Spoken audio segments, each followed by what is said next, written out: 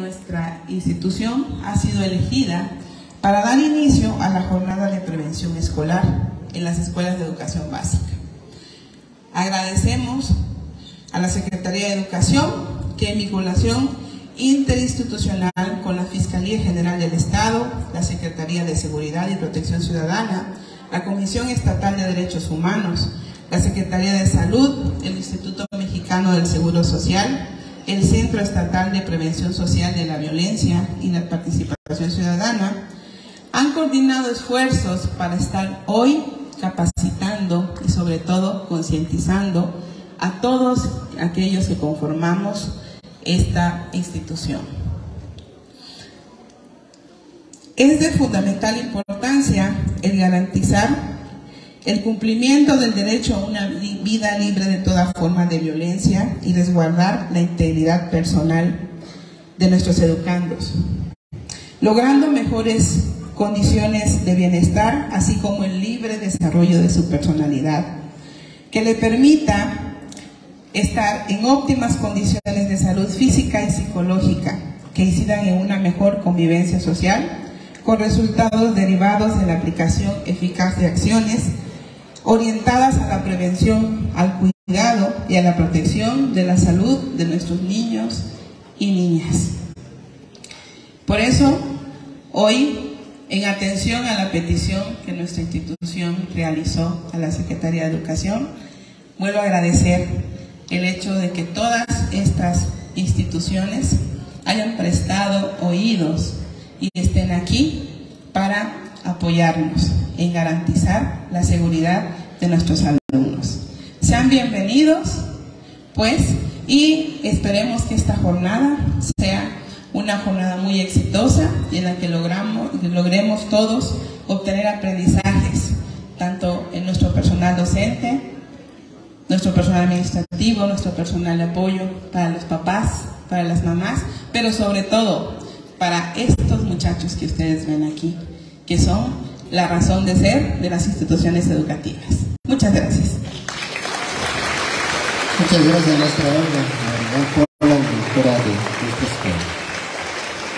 Vamos a ceder la palabra a la maestra María de Lourdes Alfaro Gordillo, directora de Educación Básica, quien nos viene a explicar el motivo de esta jornada.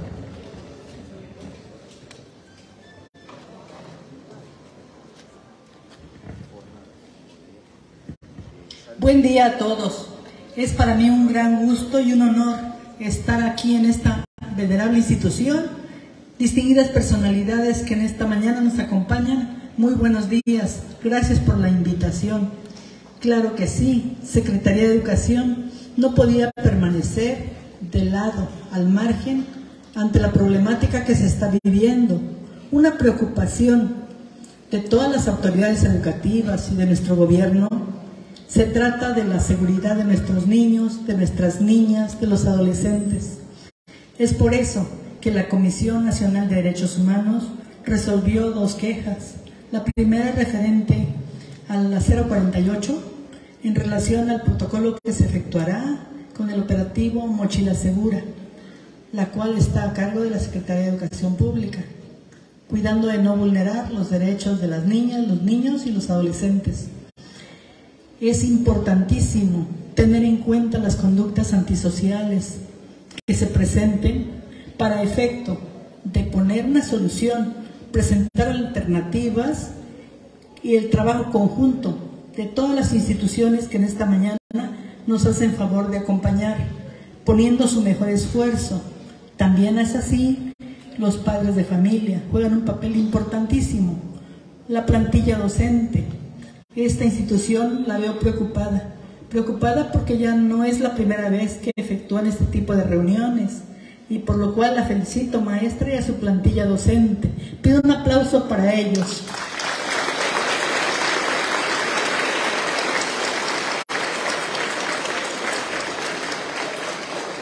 Estoy segura de que todos los trabajos que aquí se relacionen se tendrán, tendrán un efecto perdurable en el entorno social de esta institución. Muchas gracias por estar acá. Muchas gracias, maestra María de Lourdes. Alfaro Gordillo, directora de Educación Básica. También tenemos la participación del maestro Néstor Elí Hernández Galvez, coordinador de prevención y participación ciudadana de la Fiscalía General del Estado. Muy buenos días tengan todas y todos. Para nosotros es un gusto estar aquí porque significa refrendar el compromiso de servir y de servir principalmente a un grupo vulnerable como son los adolescentes. Ayudar también a los padres de familia, ayudar a los docentes y al personal administrativo. Y se reitera el compromiso en el área de coordinación de prevención de servir en todo lo posible a los adolescentes en esta escuela y en todas las escuelas del Estado. Lo hemos venido haciendo y lo seguiremos haciendo con un compromiso noble que es de beneficiar a alguien que se va a convertir en un ciudadano y tenga mejores herramientas de cómo estar alejado de los delitos, de cómo no cometer con sus conductas acciones que la ley señala como delitos. Y es un gusto también formar parte de este grupo interdisciplinario, porque siempre cuando se juntan dos o tres personas para hacer el bien, ya no se pone un granito de arena, se pone un costal en beneficio no solo de una escuela, sino también de una sociedad. Así que estamos abiertos y dispuestos a colaborar en lo que compete a nuestra área, que dentro de, a manera de ejemplo, damos cursos y capacitaciones precisamente a los adolescentes en temas de bullying, ciberbullying, por referir a otros. Tenemos un catálogo amplio, pero la idea y lo real es estar aquí, es dárselos de propia mano, no hay en una oficina. Y agradezco por tomarnos en cuenta y espero y sé que así será, que el conjunto de todos nosotros va a lograr un objetivo bien, positivo y común para Mochil y para esta escuela en particular. Muchas gracias.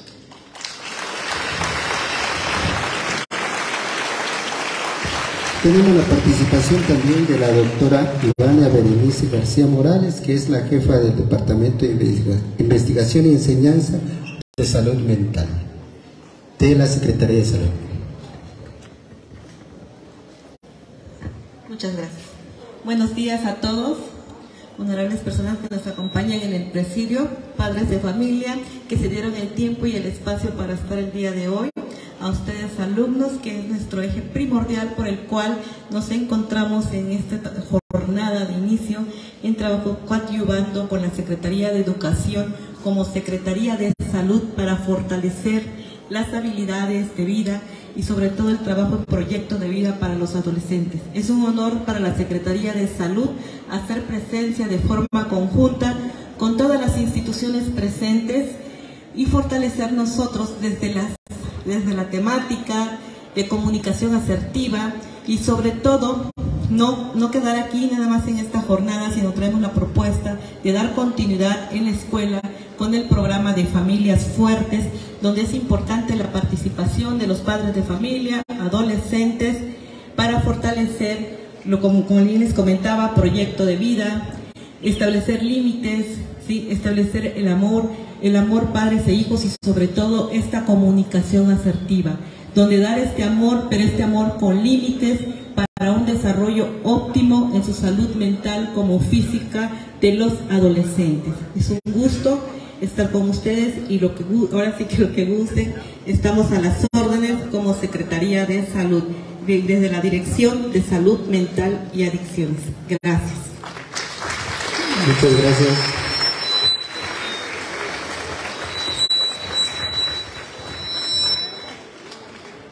Vamos a tener la participación también de la licenciada María del Carmen Gordillo Vázquez, que es la coordinadora de CENTA. Muy buenos días a todos y a todas. Eh, no soy la coordinadora, vengo en representación de la licenciada Liliana Iber López Gordillo. El Centro de Tratamiento y Prevención en Adicciones, lo que es el CENTRA, se suma a esta jornada de prevención con sus talleres y capacitaciones Señores padres de familia, para nosotros es un placer y vamos a estar colaborando con los jóvenes también, sobre todo para evitar las conductas de riesgo a través de lo que es la gestión emocional. Sabemos que venimos de una pandemia, ¿verdad? Todos, todos, todos estamos emocionalmente mal y las emociones pueden ser un factor de riesgo en el consumo de algún tipo de estupefacientes, de algún, de algún, eh, algún proceso de consumo. Entonces, el Centro de Tratamiento y Prevención de las Adicciones se suma a esta jornada y le damos las gracias a la maestra y al maestro de la Secretaría de Educación Pública por invitarnos y sumarnos. Muchísimas gracias.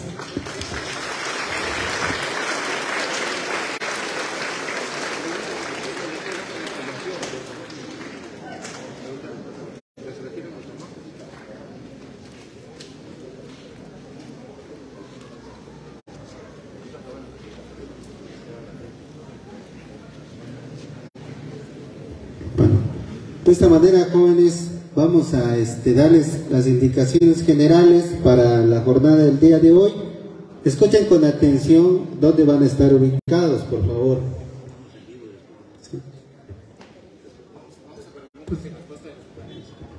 Entonces, ¿mande?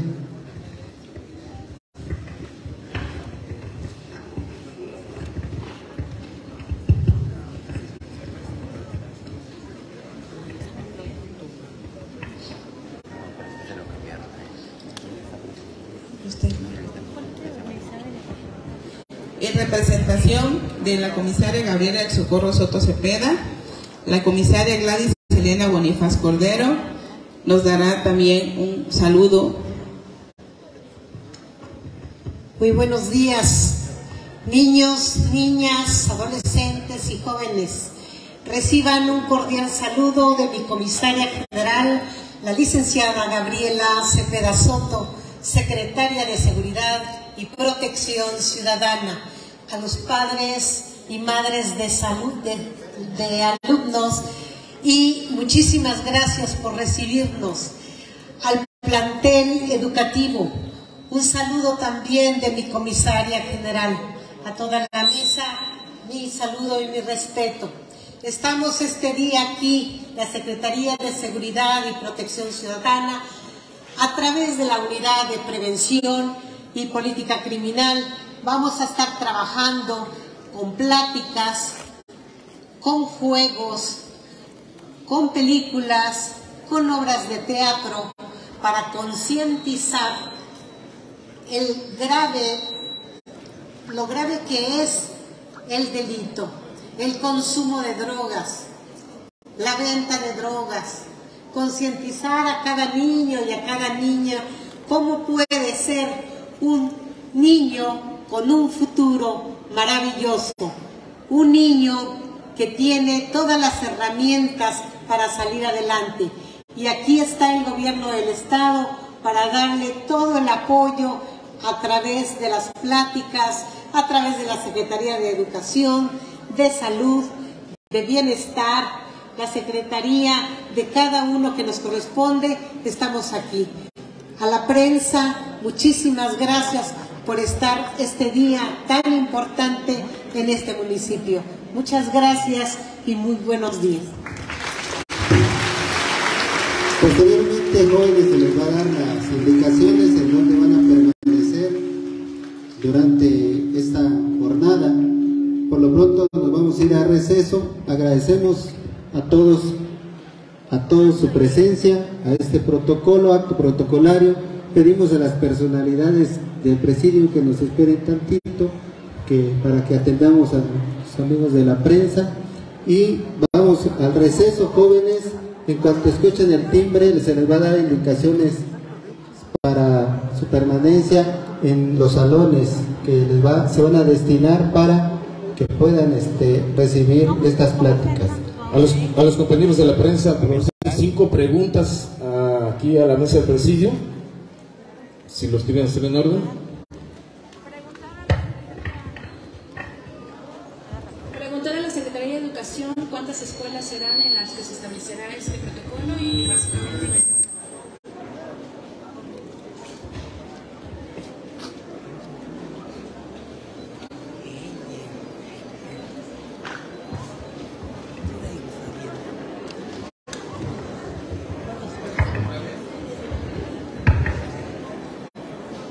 El protocolo se va a establecer en todas las escuelas secundarias de nuestra entidad. Las más de 2.000 secundarias que tenemos, tanto técnicas, secundarias generales, del corte estatal y también las federales. En todas se va a llevar a cabo este protocolo, estas jornadas de prevención. Sí, arrancamos en este día con en esta escuela, en Bochín. Posteriormente se trasladará al municipio de Tapachula, San Cristóbal, Comitán y así sucesivamente hasta llegar a todos los rincones de nuestra geografía chiapaneca.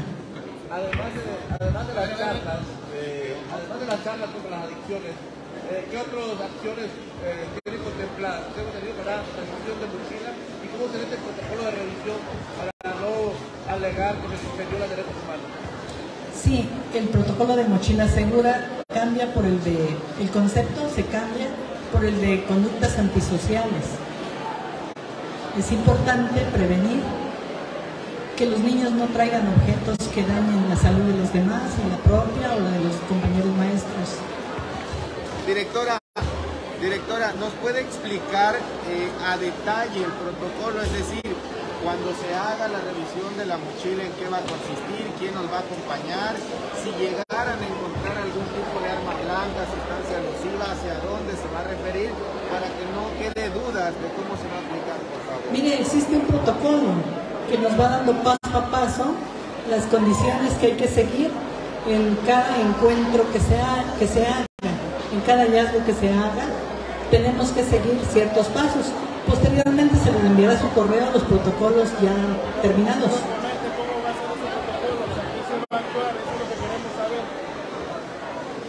Queremos saber cómo se va a actuar o cómo se va a realizar en su momento. Sí, le preguntaba, en realidad queremos saber el protocolo para que no nos quede duda de, cómo va a ser, qué autoridad va a acompañar, si va a ser la fiscalía, ¿Y qué va a pasar si eventualmente encuentran algún caso en, algún menor de edad con alguna sustancia, con algún arma blanca? ¿Cómo se va a proceder en ese tipo de, de casos? Derechos humanos, digo, si van a acompañar, ¿cómo va a ser? Gracias.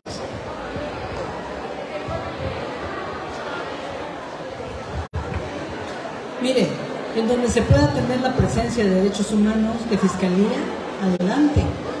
Pero estos operativos van a ser continuamente y hasta los rincones de la geografía no va a ser posible probablemente en algunos espacios tener esa, ese apoyo, ese acompañamiento. Entonces serán el Comité de Padres de Familia, una comisión de seguridad de las escuelas integrada por padres de familia y los directivos de la escuela, quienes ejecuten esas acciones. En caso de tener unos hallazgos, pues ya procederán tener en cuenta los protocolos. ¿Qué se necesita hacer? Primeramente, si es un arma, pues decomisarla, llamar al padre de familia, levantar un acta administrativa de una acta de hechos, etcétera.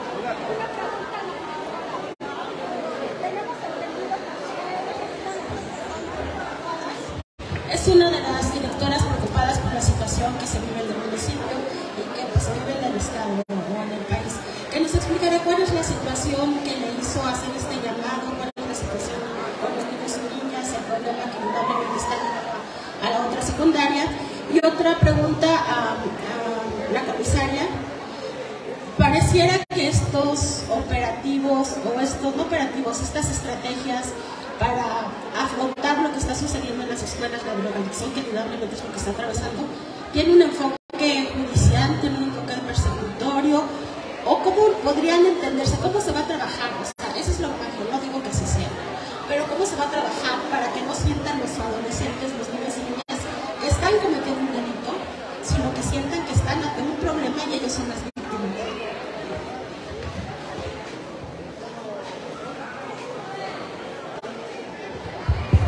Bueno, en lo relacionado a la, la es una preocupación que comparto con el Comité de Padres de Familia, debo decirles que desde el siglo pasado nosotros eh, pudimos detectar que, pues yo creo que a consecuencia de la pandemia, eh, encontramos algunas eh, conductas en los niños. De hecho, en nuestra institución, desafortunadamente, se dio el caso de dos adolescentes que se suicidaron, lo cual ocasionó que nosotros en, nuestra, en, nuestros talleres en los que vamos este, pues, planificando lo que va a ser nuestro trabajo de todo el ciclo escolar, priorizáramos la situación eh, socioemocional de los muchachos. Aunado a esto, los hechos que sucedieron recientemente en el municipio, pues la verdad vino a, a, darnos la alarma pues de que realmente es necesario preocuparnos por los muchachos, no solamente desde el punto de vista académico, sino que también desde el punto de vista de su bienestar socioemocional. Entonces, de hecho, el Centra estuvo con nosotros en la jornada de, en el día de la prevención del suicidio, ya estuvo con nosotros, porque hemos estado haciendo esta, este tipo de labor eh, para poder apoyar a nuestros, a nuestros alumnos. En relación a la, situación de las, de las, de, del consumo de sustancias, nosotros hemos venido aplicando el operativo Mochila Segura eh, de común acuerdo con la Asamblea General de Padres de Familia eh, y afortunadamente pues o, a lo mejor no, no, hemos, no hemos encontrado este, sustancias de ese tipo pero sí no podemos ser ajenos a la realidad y sabemos que, pues, que hay algunos que desafortunadamente sí tienen consumo.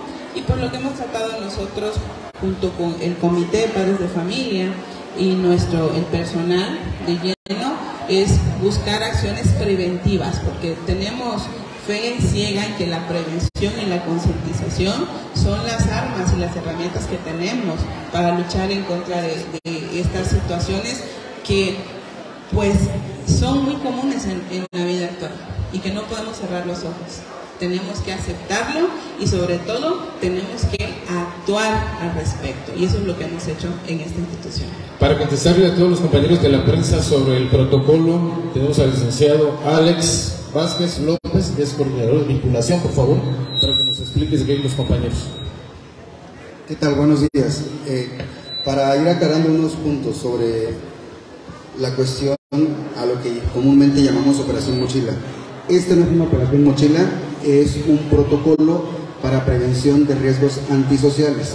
Es decir, no es de carácter eh, policiaco, no es con la intención de encontrar delincuentes, no es con la intención de dañar o violentar los derechos de las niñas, niñas, niños y adolescentes, ¿de acuerdo? Entonces, para irlo aclarando, es un procedimiento que tiene que ejecutar la institución eh, a través de un, de un consenso que tienen que hacer con los padres de familia y estos a su vez autorizarlos. Y se tiene que crear un comité de participación en el cual va a estar compuesto por la sociedad de padres de familia, director de la escuela y un docente que son observadores. ¿sí? Son completamente observadores. El alumno es quien tiene que, en el dado momento, tiene que aperturar su mochila y poder sacar todo lo que contenga. ¿sí? Si en algún momento pudiera tener, no sé, un arma de fuego, un objeto cortante o alguna otra situación, se tiene que hacer la separación del objeto e informar automáticamente al par de familia y al niño no se le puede separar, hay que resguardarlos. ¿sí? La intención básicamente es no decir, este niño es un delincuente, para nada. La intención es protegerlos tanto a la persona que lleva, el niño que lleve el, el, el objeto, como a la demás comunidad. Alex, nos, interesa saber la opinión de los padres de familia. ¿Qué opinan los padres de familia de este operativo, de, esta, de este protocolo? Si me permite, tantito nada más. Este, antes de continuar, quiero hacer la presentación y agradecer la presencia de la licenciada Iris Adriana Aguilar Pavón, presidenta del DIF municipal y con quien hemos trabajado de manera conjunta en las pláticas que hemos estado dando con los alumnos, así como también a la síndico municipal, la señora Olga Lidia Pérez Hernández.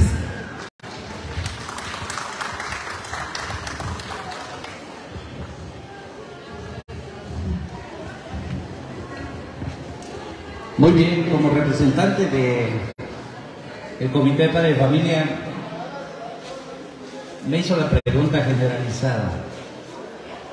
Ante esta crisis mundial, nuestra Escuelita Técnica 38, que de 1974 fue fundada, y somos exalumnos, ex trabajadores de la misma, sí nos preocupó y la buena intención de a la llegada de la directora Olga, estuvimos muy al pendiente de que los niños ante este cáncer maligno, pues no podamos, no podemos curarlo, pero sí tratarlo.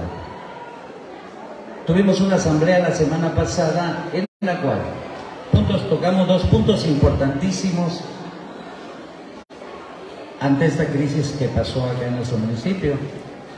Gracias a Dios, gracias a los padres de familia, asistieron a la reunión, casi el 100%, y acordamos que era muy necesario hacer la revisión de mochilas con ciertas particularidades. Y qué bien que le atinamos sin conocer el protocolo que trae el gobierno del Estado. Decidimos y lo llevamos a una votación que fue casi al 100%, fue unánime, el que nos comprometíamos a salvaguardar la integridad del alumno en casa y posteriormente en la escuela. Es ahí de que ante esto, por primera vez en la historia bochilteca, pues no se dieron cuenta, pero se están poniendo cámaras de vigilancia para que los niños y las autoridades sepan de que ya no estamos solitos, ¿eh? ya nos está acompañando alguien, de que el niño puede recorrer por ahí en toda esta periferia de 16 hectáreas que tenemos sin ningún problema. Los padres de familia que tengo atrás de mí son testigos que este comentario así se dijo.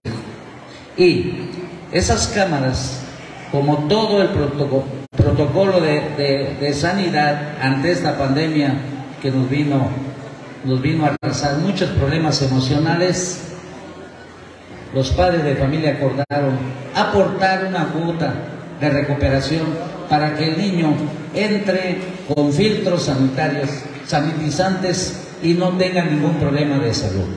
Ustedes son testigos prensa y no me dejarán mentir, todos los niños con cubreboca, tenemos termómetros infrarrojos, tenemos gel antibacterial y una bomba, algo importante que tal vez muchos papás no lo desconocen. Cada segundo día sanitizan todos los salones para que el niño no tenga esta enfermedad mundial.